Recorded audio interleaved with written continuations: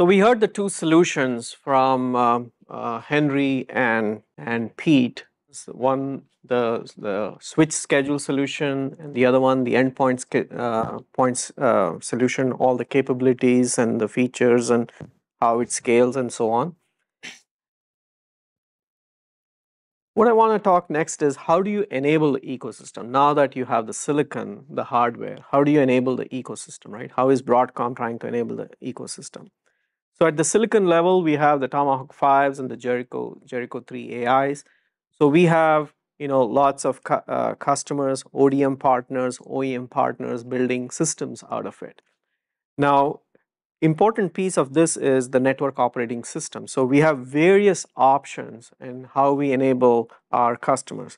So for instance, uh, somebody like an OEM, you know, they can port their own network operating system. Like for instance, Arista, they have their own operating system that they can port on top of our SDK. Uh, another option is uh, somebody like DriveNets, for instance, they you know they have the disaggregated operating system that you know they can port that operating system on top of uh, uh, an ODM hardware, or you can have something like uh, SONiC, which is an open source uh, operating system that we support and we contribute into the you know into the open source, and um, so in all of these operating systems, they can leverage all the capabilities that we have in the silicon, like the end-to-end -end congestion management, uh, load balancing, multi-tenancy, uh, you know, uh, failure detection, recovery, telemetry, and so on. And supporting this ecosystem, you have a bunch of partners, orchestration partners like Apstra, Beyond Edge, or, uh, and so on, so we have the complete ecosystem enabled by the silicon here. Now, the, the key point here is that with this ecosystem, you know, you don't have, you know, customer lock-in and customers have flexibility in, in according to their individual needs. so this is in contrast to, you know, somebody coming up and saying, okay, he's completely vertically integrated solution. Um, now, frequently what happens is, you know, our customers come and ask us, hey, you know, we have invested in Ethernet. We want to use Ethernet. But, you know, the question that came up earlier was, and how does it compare to something like InfiniBand? So here are a couple of examples that our customers ran. These are not the test benchmarks that we ran internally, but these were done at their, uh, you know, at the hyperscalers. So here's an example that shows, for instance, um, you know how um, how uh, benchmark like for instance here this is a NCCL all to all benchmark comparing the Jericho 3 or the Jericho 2 fabric with that of InfiniBand. So you can see here for the message sizes here that is shown that um, the schedule fabric performs 10% better than InfiniBand. Now this is a big deal right? 10% better because if you look at the entire cost of the uh, uh, cluster, right, a significant portion is the accelerators or the GPUs. Next is the optics cost. So if you can increase the performance of your network by 10%, you can reduce the number of GPUs and you can reduce the number of optics as well. So in, in some sense, by increasing the performance, you're paying you're paying for the network itself. So it kind of comes out comes out free. So this is with a, a, a schedule fabric uh, done at a hyperscaler. We also, an, another customer also did um, comparison to InfiniBand with Ethernet fabric. This is the endpoint that I that we talked about. Here also you can see that the, the performance is comparable to that of uh, InfiniBand. So the, the net, uh, the, the point here is that, you know, there is a lot of investment, ecosystem, etc. around Ethernet. And if, if Ethernet performs uh, close to or better than InfiniBand, then customers would like to prefer that. Now, why is that the case? So why, why do we believe that um, you know this is the case? So, so for instance, right, uh, one of the things, but by the way, all the performance that was done was like like, so it was like you know 25 point terabits, same same bandwidth and radix and so on, right? So, but in addition to that, uh, what we see is if you compare with InfiniBand, Uh, InfiniBand used to be ahead in terms of fabric bandwidth and the port speed, but Ethernet in the last uh, several years have, you know, significantly ahead of InfiniBand. So, for instance, um, on the port speed, today with Ethernet we have 800 gig port speed, whereas InfiniBand is at 400 gig port speed. Pretty soon we'll have a 1.6T terabit device.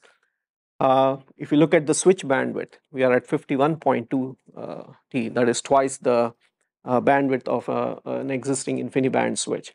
Now, when you have this large radix and high bandwidth switch, it allows you for reduction in the cluster size, and therefore, by uh, by that reduction, right, and on all the other capabilities that we have, like load balancing, end-to-end congestion management, and so on, telemetry, and so on, by, reduc by reducing the tiers in the network, you're reducing power, you're reducing cost, and that is the benefit that you get with uh, with this Ethernet.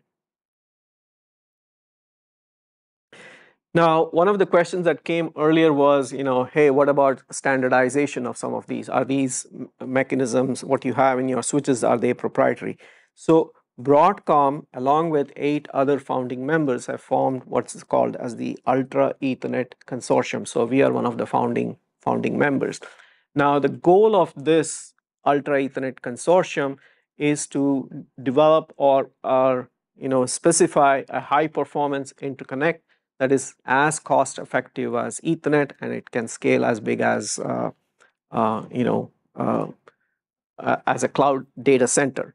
So in into this ultra Ethernet uh, consortium, so we are driving a lot of features. Uh, you know the the focus here is some of the things that we talked about like packet spraying. Can that be standardized in the ultra Ethernet consortium? So that's one of the things. Now, RDMA or RoCE typically is about in-order delivery. Can we do out-of-order delivery, but in-order message delivery? This is another one that is being considered by the Ultra Ethernet Consortium. Congestion control. You know, uh, Pete talked about congestion control or congestion management is more like a religion, right? So everyone have their own views. So how can you how can you have congestion control that can be accepted so that at least you're interoperable between various, uh, you know, various vendors, whether it is a sender-based congestion control or a receiver-based congestion control. Those are the mechanisms that are being looked at. Uh, telemetry. How do you, uh, you know, what kind of telemetry mechanisms you need to have within the network to enable either or to assist either a sender-based congestion control or a receiver-based congestion control even modifying the RDMA stack, right? RDMA has been um, a single single path uh, protocol. How do you mo modify it so that you can have multipathing in the network? So that's that's another one that's being talked about. Security. Security is also make, making itself into the backend network. So keeping security in the picture as well. And how do you scale it to a million endpoints? So these are the overarching goals of the UEC that you know, and we as Broadcom are driving some of these innovations and working with other founding members.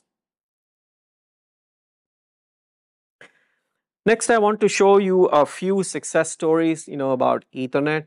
Uh, so here um, I show, uh, for instance, this is uh, from AWS. You know, they the it is all Ethernet-based transport. So they developed a protocol called SRD, which is a modified version of uh, RoCE or RDMA, and they built their own reliable data program, uh, datagram protocol, and and as you can see here, right, um, you know they have a massive investment in Ethernet, and the which provides depth and breadth, breadth of control over outcomes that they don't want to give it up. So this is the common theme, uh, you know, that we see.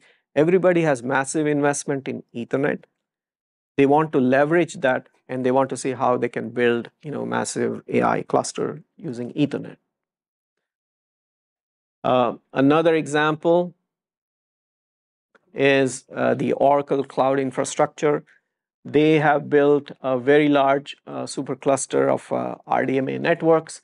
Um, and uh, you know, they say that it simply works. So again, an, an Ethernet-based transport here as well.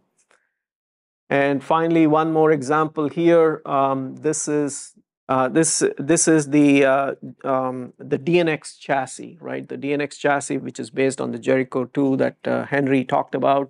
Um, this has been deployed in the Meta platforms for the Gen AI and recommendation engines. So you can see that you know you have all these customers that are deploying solutions based on standard Ethernet uh, technology. So with that, I would like to leave you with one thing. Um, Ethernet, it's open. Ethernet has a very strong, vibrant ecosystem. Uh, Ethernet is competitive in terms of performance, and Ethernet can scale to a very large uh, cluster size. And, and Ethernet provides all the benefits, you know, the, the investment, the tools, the, uh, the capabilities that are there, which customers come to expect of us.